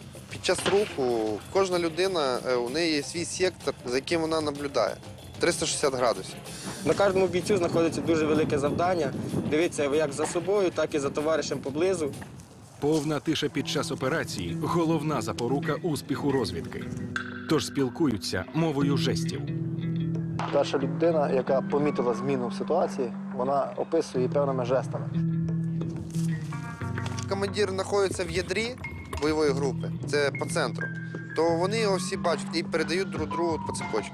В кожного бійця нашої групи є свій позивний жестикулярною мовою. Він розуміє, що це до нього і Не тільки командир подає жести, може головний дозор подавати жест, або противник жест, там противника, або контакт, або відход. Окрім жестів, розвідники користуються раціями з гарнітурою. Ніхто не спілкується в ефірі відкритим текстом. Є певні шифри, певні коди, якими спілкується група між собою. Тим більше в кожної групи е, спілкування відбувається там по-своєму. Що навіть інша група, якщо б вона вийшла на наш канал, наприклад, вона не буде знати, про що ми говоримо. У разі бойового контакту з ворогом основна ударна сила групи це снайпер та кулеметник. Зазвичай кулеметник це людина, яка витягує на себе вогонь і відходить крайній. скажімо так. Тому е, він На його плечах лежить безпека групи. Кулеметник відкриває вогонь і дає групі відійти. Після того вже відходить він, якщо, якщо на то Божа воля. Так само завдає суттєвих втрат супротивнику і снайпер. Тому ворог намагається знищити його в першу чергу. Снайпер це більш така делікатна робота. Він поражає велику силу противника. Вони ідеально працюють в парах. У разі втрати або поранення бійців кожен розвідник має бодай частково замінити свого товариша. Група діє як один механізм. От, і кожна, як кажуть, шестерня цього механізму, вона в принципі повинна бути замінена моментально. Кожен боєць у групі він е, стріляє зі всієї зброї і водить любу техніку. Щоб група ефективно працювала, бійці мають прилаштовуватись один до одного щонайменше півроку. Група це одне ціле, один механізм. Якщо одна людина в групі вона не дотримується певних якихось таких правил, не писаних в групі, чи ще чогось, він не зможе працювати в групі. Витримка, терпіння, тактична мудрість та здатність робити неможливе саме це робить спецназ особливим родом військ. Операція групи вважається успішною, коли з виконаним завданням без втрат усі бійці повернулися назад. Вернемся к событиям вокруг э, возле Луганского аэропорта. А скажите, м, почему удержание вот именно этого Георгиевского блокпоста было настолько важным? Тому що Луганський аеропорт він е, знаходився в оточенні і він був заблокований. Е, там були і 300, і 200, і потрібно було підвести боєприпаси і е, продовольство і забрати, евакуювати цих людей. Е, причому, так як у нас робиться, е, вже президенту були доповіли, що він розблокований. Вот я как раз хотел об этом спросить. В то время э, Георгиевка уже была занята сепаратистами. Да. А информация шла о том, что що там все розблоковано і все чудово. Тому дуже багато чого робилось поспіхом. Е, Дуже багато робилось поспіхом і е, не так, як воно повинно би було відбуватися. Бой, бой начался утром. Противник сначала пошел со стороны Луганска. Э, Там так получается, что как бы вот э, блокпост он находится сам в центре села, а но село фактически мы не контролировали. Мы только контролировали буквально там вот 100 метров в одну сторону, 100 метров в другую сторону и все. Противник буквально зашел без всяких э, проблем, зашел в село, где находилась его передовая штурмовая группа. И они уже с, таким штурмовым солидным отрядом двинулись на штурм блокпоста. Сначала на блокпосту стояло подразделение «Айдар». Я так понял, они сначала не поняли, что это вообще противник. Они наш пошли с ним на контакт. Двое ребят вроде попало в плен с «Айдара». И тогда завязался бой. Бой завязался очень быстро. Танки противника буквально через полчаса уже выехали на блокпост. Я не знаю, почему они развернулись и отошли, наверное, тоже испугались. Наши танки отошли сразу же, там на блокпосту у нас было три танка первой бригады танковой. Они сразу же отошли с блокпоста, ушли где-то в сторону села, там где-то Я стали. прошу прощения, это был тактический ход или... Я не знаю, это не тактический ход был. Это скорее там ребятам просто было удобно, удобнее там стоять, либо или, или на блокпосту. Они решили, что им удобнее там постоять и посмотреть со стороны, как это все будет происходить. Как будет происходить бой, в смысле? Да. За их блокпост? Ну, Мы, в получи- принципе- получилось, получилось, получилось так. Вот. И тут завязался бой. Как бы все начали отходить от блокпоста, и мы тоже решили отходить, потому что, как бы, посмотреть, если с воен- с военной точки зрения, само место блокпоста, оно не придатно для ведения обороны. То есть оно находится в низине, все, пр- все противник, он подходит только с высот, то есть находиться там это самоубийство. Но на блокпосту осталось как бы не в окружении, но осталось отделение 80-й армобильной бригады, ребята остались в окопе, и мы уже отошли там, спрятались, как бы под, э, заняли оборону под мостом, чтобы спрятаться от э, ударов вражеской артиллерии и градов. И когда ребята увидели, что там осталось еще отделение десантников, мы решили занять вот эту брешь от, э, на- там, где мы находились, и от ним, чтобы, потому что противник уже подошел, как, чтобы вам было понятно, он находился от их окопа уже 20 метров. То есть попасть, закинуть туда гранату, это не, не составляло никаких проблем. Пару гранат, и отделения уже нет. Мы заняли эту брешь. Э, Еще с нами, с нами было еще, ок- ок- еще около шести человек э, с Айдара. Мы заняли эту брешь, начали нести оборону. Тут у нас закончились боеприпасы. Ну, нам тоже как бы снова немножко повезло, потому что когда Айдар отходил, они на дороге оставили свою машину с боеприпасом и с АГСом. И мы как бы, тут, как бы немножко военного везения. Мы отбили эту машину, вытащили АГС, зарядились и начали работать. Работали. И этим- в то же время начали, выходили на наши оперативного офицера, корректировали огонь артиллерии. И, ну, и по- по- поскольку противник был, уже находился в селе, вели огонь прямо по селу. Э, Почему по селу вели? Потому что в то время уже мирных, мирного населения в этой деревне не было. Когда уже мы, то есть, э, я доложил э, с, э, старшему э, оперативному офицеру, что уже мы, то есть у нас бой, у нас нам, нам нужна помощь, потому что не, не может вот, в количество, э, такое подразделение в таком количестве держать э, силы неравные были очень такие, ну, довольно как сутево была перевага противника. И как бы запросили помощь с аэропорта. Мы отбили две атаки, уже сами отбили две атаки, потом подошла помощь с аэропорта, подошла подразделение 80-й бригады, и пришли еще танки какой-то, не знаю какой бригады, они тоже первая, но те, которые стояли на аэропорту. И уже с этим подразделением э, мы уже начали отбивать еще, еще две атаки мы отбили и начали понемножку сказать, зачищать село. И организовывать уже полноценную оборону блокпоста, то есть чтобы уже как бы закрепиться там окончательно. Потому что как бы вот было сказано, вот президенту они рассказали, что говорит, село уже разблокировано, то есть аэропорт разблокировано, село наше. А На самом деле оно было не разблокировано, то есть было только взят один блокпост, который, если вот были военные хорошие специалисты, вот этот блокпост уничтожить, выйти, вывести ее из строя, никакой, никаких проблем не составляло вообще. Просто нам немножко повезло то, что говорит, что наступали со сто- с трех сторон, и как бы такая была немножко дележка за власть. Кто будет контролировать село, больше территории. Казаки хотели себе это все как бы взять, а ЛНР под свое крылышко это все как бы подомять. Вы сейчас продолжаете службу? Нет, лично я уже закончил свою службу пока. У вас закончился контракт. Ну, я э, как бы мобилизованный, призванный по мобилизации. Первой, э, первой хвилі. Буквально зауважити. Да, конечно. Мені сподобалося, що а, а як ви там утримали блокпост? Ну, пощастило, а там теж пощастило. А причем Насправді- вы, вы, вы, нас- вы заметили, Александра, очень часто говорят об этом бойцы. Мне, Насправді, мне мені здається, не пощастило. Насправді це підготовка. Просто вони не говорять про це. І те, що під, так, під таким ш- шквальним вогнем вони всі залишилися, не просто не було битих, а навіть поранених. Це теж підготовка, так? Це теж підготовка. Було двоє травмованих. Травмованих. Оце підготовка. Каждый должен делать свое дело. Я говорил тысячу раз. А, Сборная команда по футболу, которая будет 11 Зинединов Зиданов, проиграет футбол сборной Таджикистана, у которой есть вратарь, защитники, полузащитники и нападающий. Что у каждого на этой войне своя работа. И не должны все бежать забивать. У каждого есть своя работа. Просто каждый на своем месте должен ее сделать на пятерочку, чтобы не было стыдно потом друг другу смотреть ни в глаза, ни в балаклавы. Мы там приезжали в Тоненьке, стоят танкисты, да? Вроде Приехал президент, вручили танки, покрашенные, все. Приезжаем, 93 говорит, Леш, за- за- залезь внутрь. Они их покрасили снаружи и изнутри. Мы трое суток оттирали хотя бы датчики на стеклах, чтобы видеть уровень топлива. Леш, Леш, Леш, Леш. Е, цей, дивись. Нам треба, як нормальним свідомим націоналістам, якби я говорю зараз про нашу позицію, дивитися про те, щоб врятувати нашу державу від зовнішнього ворога і наваляти ще по дорозі потім всім іншим, внутрішнім ворогам, при можливості паралельно. Але є пріоритети. Гаразд, кого на кого міняти?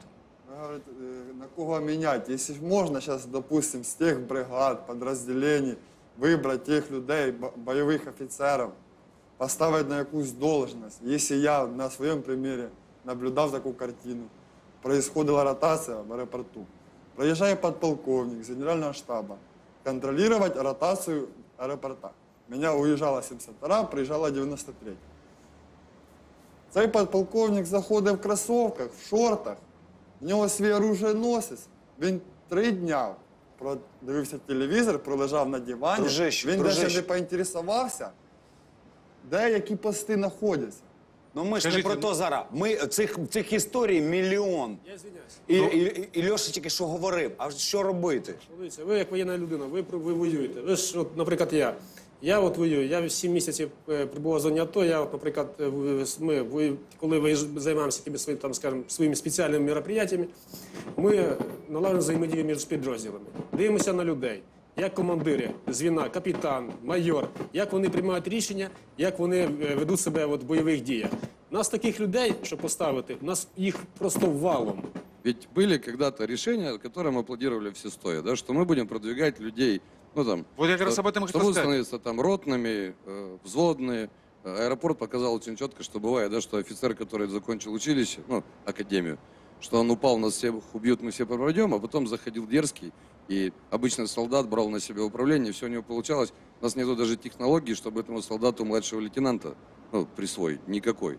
У нас были вопросы, что военковыми станут люди, которые там отвоевали, придут на эти места и будут понимать потребности фронта, а не будут заниматься, по сути дела, таким же мародерством, отжимать там у целых автотранспортных предприятий машины, которые никуда не доезжают, в итоге все ездят только на том, что люди на коленке собрали и привезли из-за границы. От я слухаю, і е, дійсно теж страх, який е, знаєте, закрадається.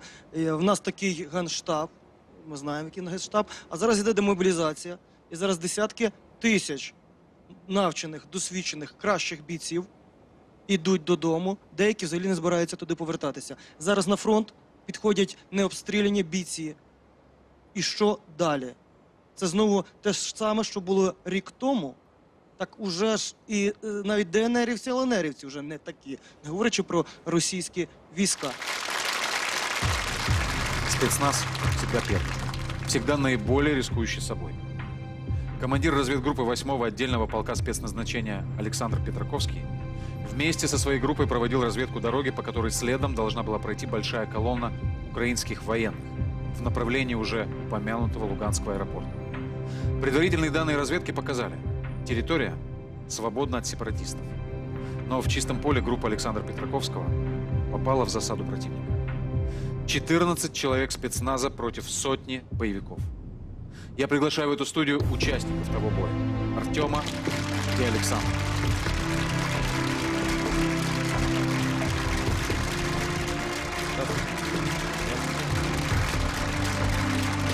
Присаживайтесь.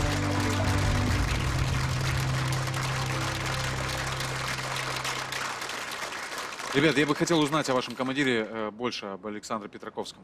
Как он проявил себя, будучи командиром? Э, Александр Петраковский проявил себя с самой лучшей стороны. Очень хорошо командовал группой. Ну, действия его ну, спасли многие жизни, реально. То есть, в том числе и мою.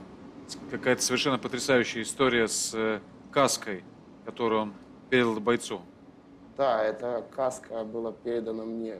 Так это вы и есть тот боец? Так точно. Расскажите.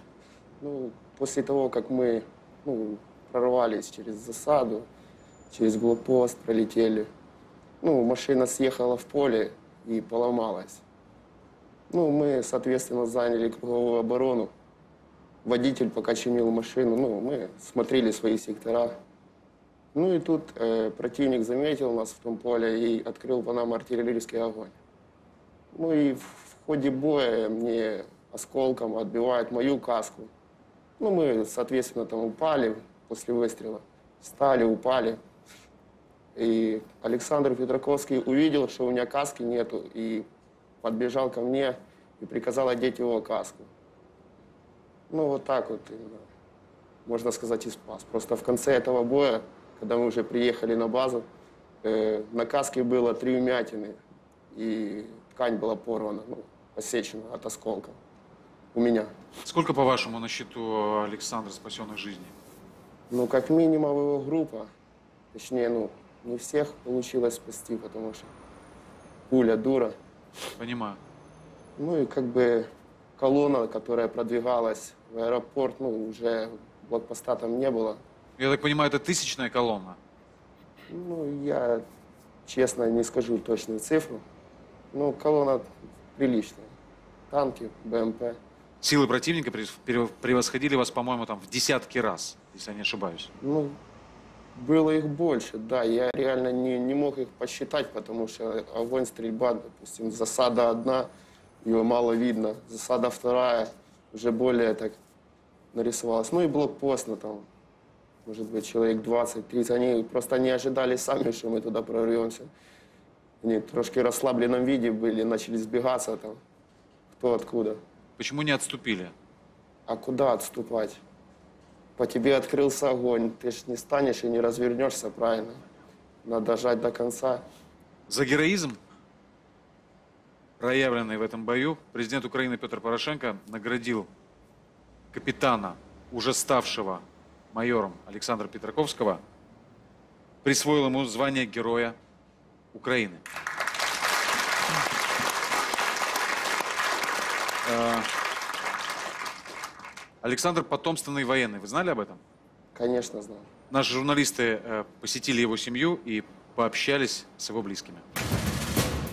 Олександру Петраківському сама доля веліла стати військовим. Його прадіди та діди носили погони, а батько отримав звання полковника у військах спецназу. Жінки у цій родині теж захисниці. Мама Сашка і старша сестра служать у Збройних силах України. Папа в мене фанат своєї роботи, своєї служби, хоча він зараз на пенсії, але всією душею він е, досі вояка, як він каже, старий полковник ВДВшник, дід спецназа. Мама в званні підполковника. Батьки десантники служили у 8-му полку спеціального призначення. Тож з дитинства Сашко та сестра Світлана пропадали на полігоні. З 12 років стріляли зі зброї і самі складали парашут. А на свій перший стрибок з куполом наважилися у 8 класі. Як хлопець, як брат, е, він після кожного прыжка носив мій купол, відносив. А це ну, кілометра два, можливо, три. Приземлялися переважно завжди поряд. Саша, Саша, ти де? Він побачив мала, ти тут давай. І закинув собі два купола, і от це от іде на площадку вже з двома.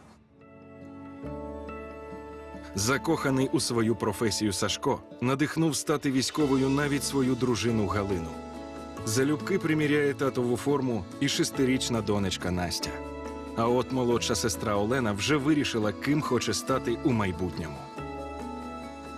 Я дуже дуже хочу стати воєнною, як моя сім'я, як мої рідні.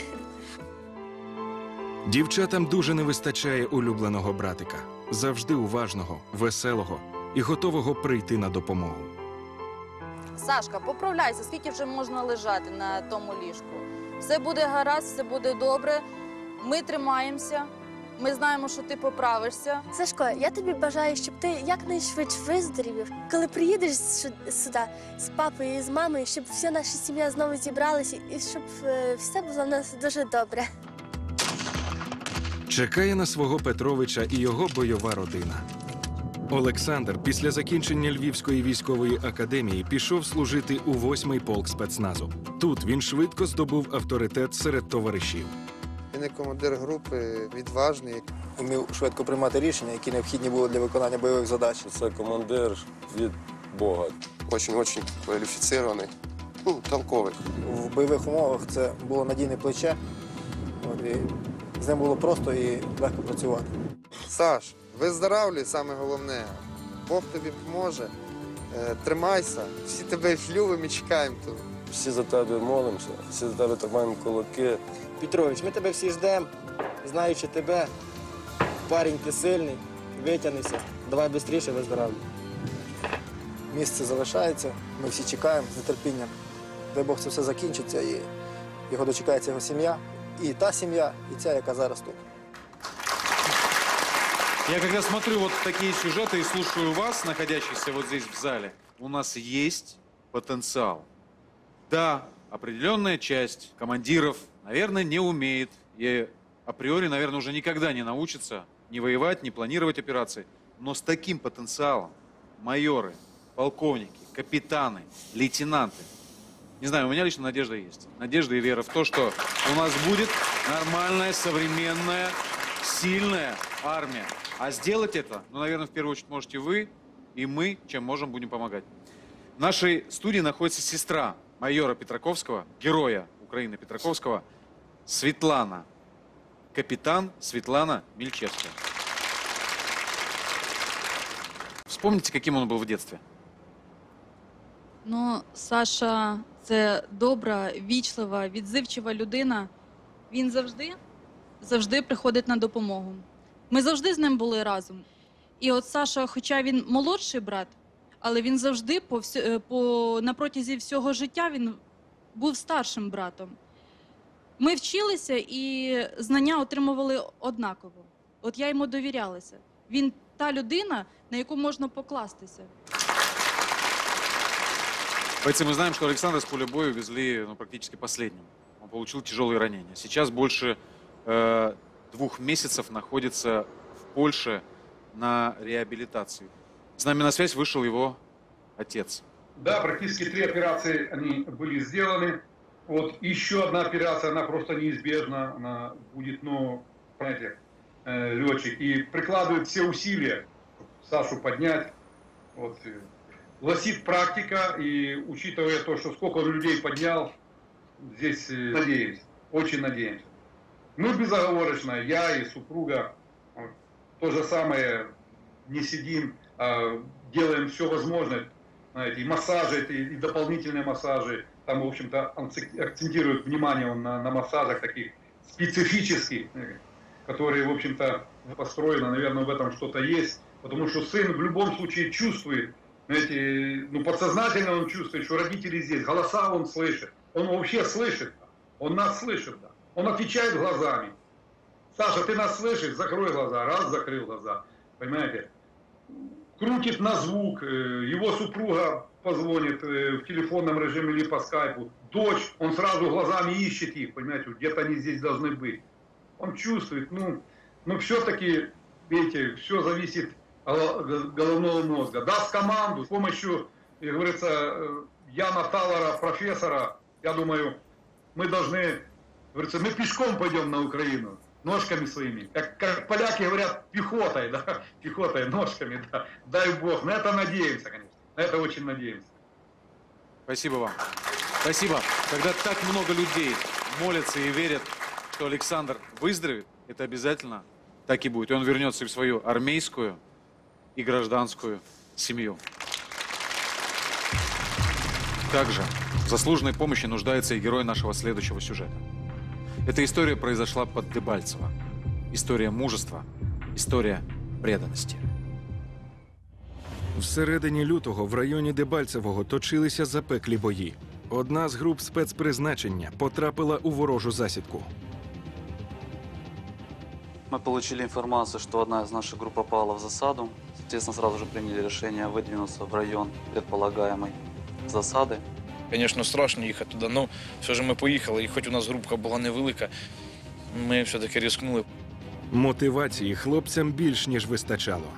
Я з цими ребятами служу 4,5 года. Многих знаю, з многими, дуже много я пройшов в цій житті. Тобто це настоящі товариші бойові. Група спецназу, що пішла на допомогу товаришам, наражалася на велику небезпеку. І зрештою дорогою натрапила на ворога, який за чисельністю переважав щонайменше вдвічі. Группа была в белых маскалатах, хорошо экипированная, с оружием, которого не встретишь в рядах нашей армии. Це були підготовлені ребята. Пробивали інформацію наші люди, то вроді би це була 10-та бригада спецназу руського. У бою наші хлопці знешкодили супротивника, але змушені були залишити пораненого командира, який впав з БТРу. Сам він каже, життя дивом врятував власний одяг. Пуля попала в артерию, а ни грамма крови не вышло.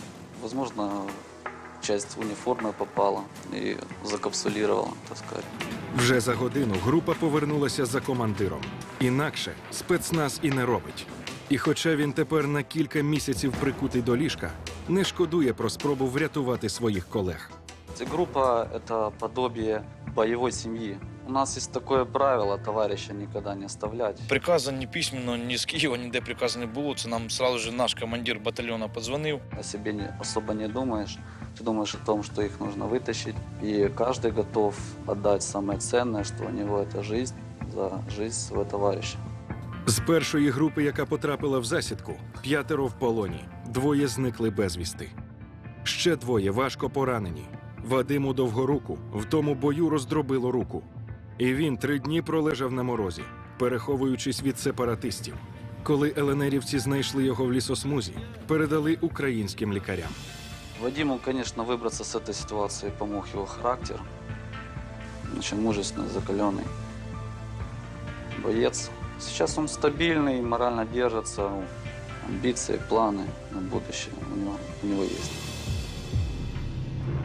К сожалению, из-за осложнения Вадиму Довгоруку пришлось ампутировать обе ноги и руку.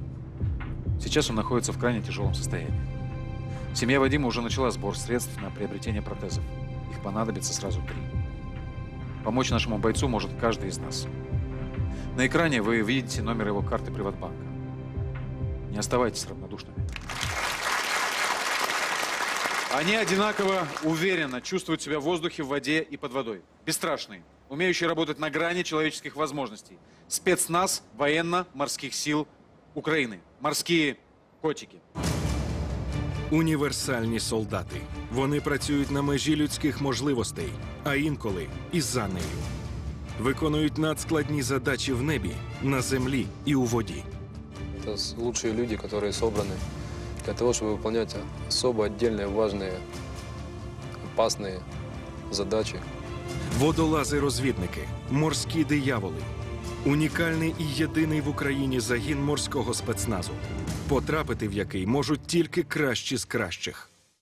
Для того, чтобы стать морским спецназовцем, человек прежде всего должен быть морально к этому подготовлен. Он должен этого хотеть, он должен быть физически очень развит. В усі часи морські розвідники вважались елітою не лише війська, а й навіть загонів спецпризначення. Це пов'язано з нереальними навантаженнями, які доводиться долати цим командос. Тяжело научить человека психологически не бояться воды. Если же он, не опустившись в воду, уже начинает нервничать, то в случае аварийной ситуации он просто погибнет и может подвести весь, всю группу. Загін бойових плавців це люди-невидимки. Працюють під водою, лишаючись непомітними на поверхні. Вони здатні виконувати завдання на глибині до 40 метрів. У таких умовах надія тільки на свій професіоналізм, спорядження і напарника. Водолазы находятся под водой, и спасти друг друга могут только они. Сам погибай, друга выручай. Он должен к этому быть готов. Он должен в последний момент прийти на помощь, пожертвовать даже своей жизнью. Задача бойових плавців морська розвідка, захист наших кораблів і знищення ворожих.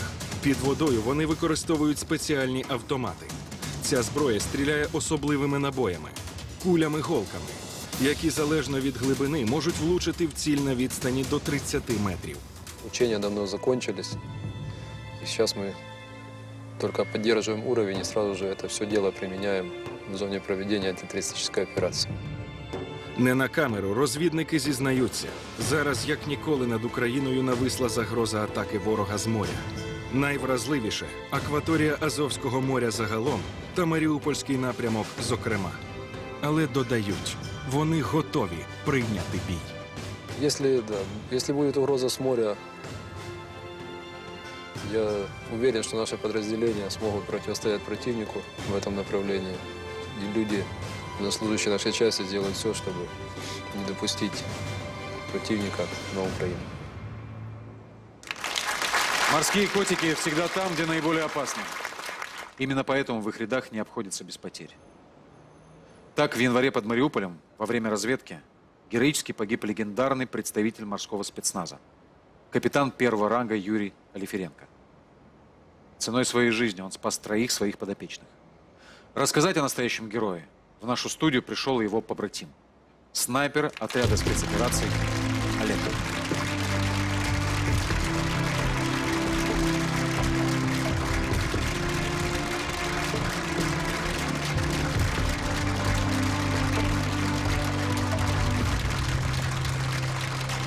Спасибо, что нашли возможность приехать к нам сегодня.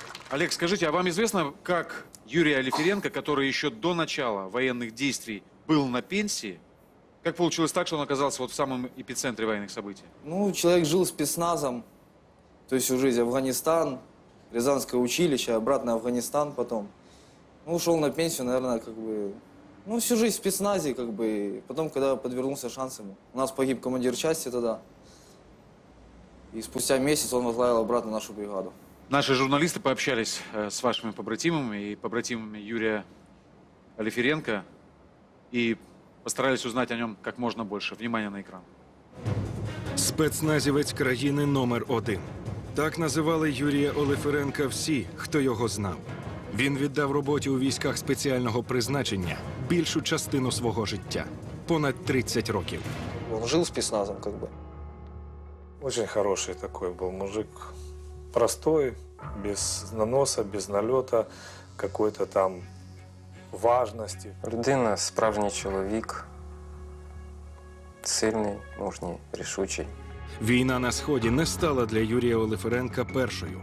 Легендарний спецпризначенець пройшов Афганістан.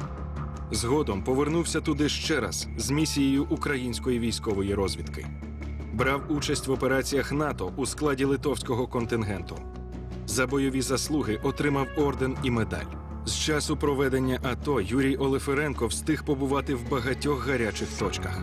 Його побратими згадують, командир всюди йшов першим. Командир части это вот э, первым делом это стратег. Он как бы не должен себя подставлять, да, ну вот лезть вперед. Но дело в том, что Юрий Борисович как бы к этому относился немножко по-другому. Он всегда вот впереди, вот сопроводить колонну какую-то, все, вот он с нами там, там куда-то ехать на какую-то операцию, там засада. О, вот это Юрий Борисович он там, в Афганистане столько засад сделал. Это все. У кого еще опыт больше, чем у Юрия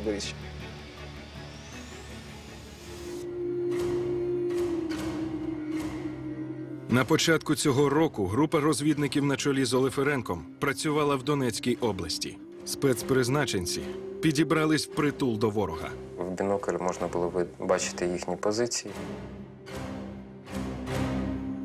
И тут мы увидели, ну, через оптику, начали через снайперские винтовки наблюдать, что началось какое-то движение в селе.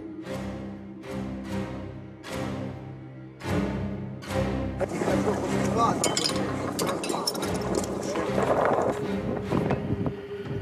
потом мы услышали, как первый минометный выстрел произошел.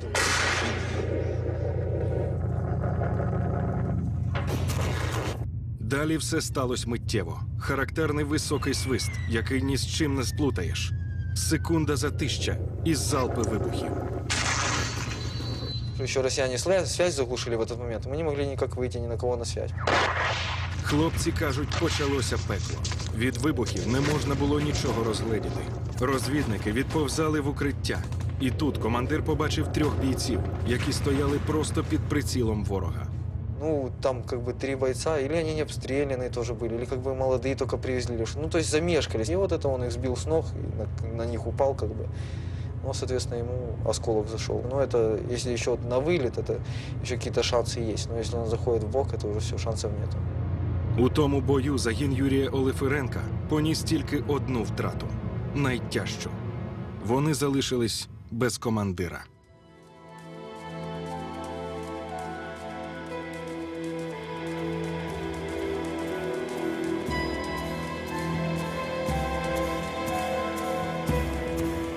Ну, він загинув як герой. Очень большая потеря. Ну, не то, что рухнуло все, но уже как бы уже не то. Почему? Потому что, ну, как бы его никто же не заменит. Нет специалиста такого. Дивлячись на нього, хотілося бути стати таким і рости до нього, до його рівня. Скажите, сколько совместных операций вы провели вместе? Ну, с начала войны, начиная с Крыма, с, э, там тогда оперативная разведка велась.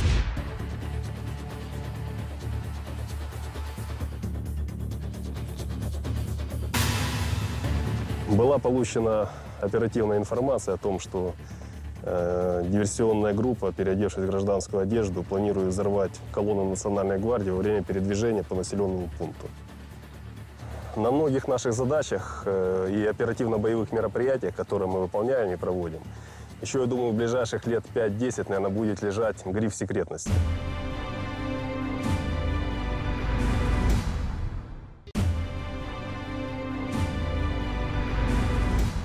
Скажите, сколько совместных операций вы провели вместе? Ну, с начала войны, начиная с Крыма, с, э, там тогда оперативная разведка велась. Ну вот и до февраля месяца. А сейчас вы мониторите ситуацию? Какая сейчас там обстановка? Все, что касается Мариупольского направления, вот это вся наша, вся наша территория, чем мы занимаемся. Дело в том, что подразделение маленькое, людей не хватает, и вот группы делят, делят. Одна группа, там, допустим, 12 человек, ее еще делят на группу, а группа еще на группу делится. То есть очень мало людей, на все эти направления кидаются. Ну, как-то вот так вот. Вы мониторите ситуацию на Мариупольском направлении. Нам стоит ожидать, опасаться, держать там оборону с моря? Стоит нам ждать опасности? Лично мое мнение, что да. Э, Что ну, именно морской рубеж, он очень небезопасен. Ну, лично мое субъективное мнение о том, что вот те разведгруппы, которые мы встречали, российские именно. Ну, мы их определяли как российские. Почему? Потому что, ну, степень подготовки видна была, камуфляж, это вся их там разгрузки, эти союз спецоснащения российское, то есть мы это все наблюдали. Винторезы, там, вместо АК, то есть такое дело. как бы это были не сепаратисты, не наемники, ну, видно было, что это ГРУ. Я, мне казалось, что их доставляют именно с Ейска, и это было именно вот путем морским. Соответственно, любая миссия ОБСЕ приезжает, никого не наблюдает. Почему? Потому что эти люди через Новоазовск уже не сухопутным, а быстро морским путем, там ему недолго по воде идти, ну, добрались обратно все в часть. Олег, скажите, а мы готовы э, к полноценной обороне, если вдруг, не дай бог, так случится, Э, что враг пойдет со стороны моря? Мы го- Силы и средств х- хватает, конечно. И слава есть, богу. Слава богу, да, что их хватает, но военно-морские силы их надо укреплять, потому что за последний год мы их потеряли очень много. Ну, а в Азовском море, то и вообще как бы. То есть надо это дело укреплять, надо увеличивать штаты, надо готовить э, бойцов именно готовить не так, как на обум, там мобилизировали людей, прислали в часть, а кого мобилизировали. То есть, ну, тут, соответственно, и как, отбор должен быть. Он проводится сейчас, такой отбор? Он проводится очень на низком уровне. И это начинает все от военкоматов. Потому что военкоматы присылают как бы по приказу людей, а эти люди, они, ну, они не потянут ни службу эту, и оно им и не надо, и желания у них нету. А специалисты нужны уже прямо сейчас. Какой выход, вот, по-вашему? Контрактная основа? Что? Что нужно делать? Э, Если это будет как бы на фоне мобилизации, пусть будут мобилизированы люди, пусть они будут призываться в части спецназа. Но те люди, которые их призывают, они уже в военкоматах должны проводить э, соответствующий отбор. Ну и, соответственно, Не, надо- не просто так. Я понимаю, да, сейчас каждый отклоняется от мобилизации, э, ну, насколько я наблюдал. То есть повестка, там надо убежать от той повестки. Соответственно, этих людей загоняют в военкомат, и какую им проводят медкомиссию? Никакую медкомиссию. Почему не проводят? Потому что, да он и так хорошо, что его споймали, какая ему еще будет медкомиссия.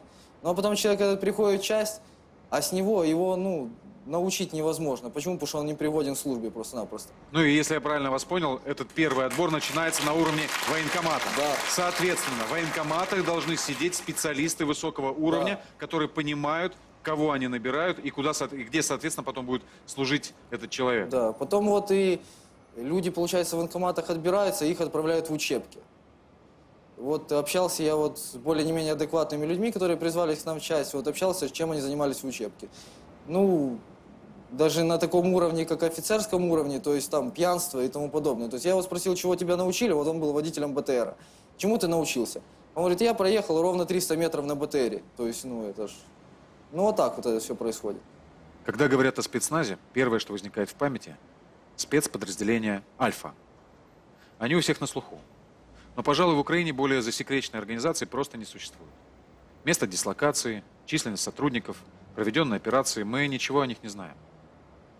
Но нашим журналистам удалось пообщаться с представителями подразделения «Альфа» одного из южных регионов. На многих наших задачах э, и оперативно-боевых мероприятиях, которые мы выполняем и проводим, еще, я думаю, в ближайших лет 5-10, наверное, будет лежать гриф секретности.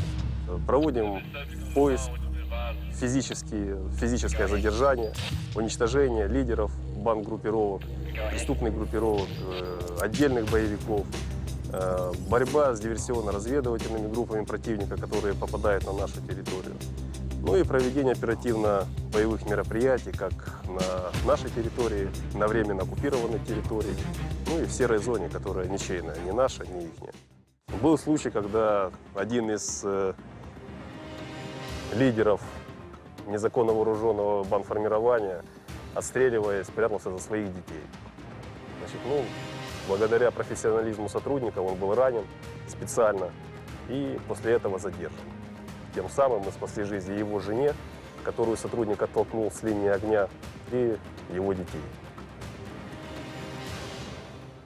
Была получена оперативная информация о том, что диверсионная группа, переодевшись в гражданскую одежду, планирует взорвать колонну Национальной гвардии во время передвижения по населенному пункту. Один из этих э, участников диверсионной группы был вычислен, определен. Задержание проводили в центре города, в массовом, в людном месте. Прохожие особо даже не сориентировались, не поняли, что произошло. Каждый сотрудник – это прежде всего минимум военное училище и второе высшее образование. Юридическое, экономическое. Есть филологи, которые спокойно владеют иностранными языками. Каждый сотрудник – специалист узконаправленный. И он ведет, допустим, одно или два направления. Один может быть профессиональным снайпером и альпинистом. Второй, допустим, альпинистом и подрывником. Третий может быть и снайпером, и водолазом. Для обычного гражданина наша работа особо не видна, потому что и СМИ освещают, допустим, там СБУ провела. Но мало кто задается вопросом, кто именно провел, кто именно в этом участвовал. Мы работаем везде, работаем со всеми, и под крышей и любого подразделения, и в форме любого подразделения. Мы делаем общее дело, поэтому главное конечный результат, а не то, кто это сделал и кому медали и ордена получать. У меня вопрос ко всем уважаемым гостям, присутствующим здесь, вот в нашей студии. Вы элита украинской армии. Вы те, на кого равняются не просто а, бойцы, а, собственно говоря, ну, наверное, любой мальчишка, живущий в Украине.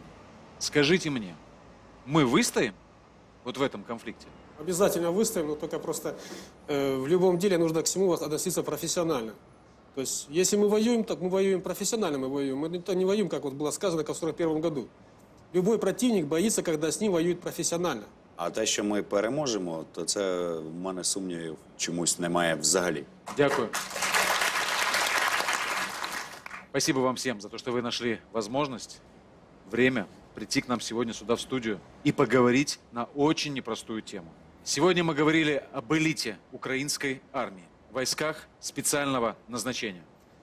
Они все, как один, живой, единый организм, работают в самых горячих точках. Слаженно, быстро, эффективно. И главное, они всегда идут до конца, до победного конца. И всегда идут вместе. Спасибо вам. Храни вас Всевышний.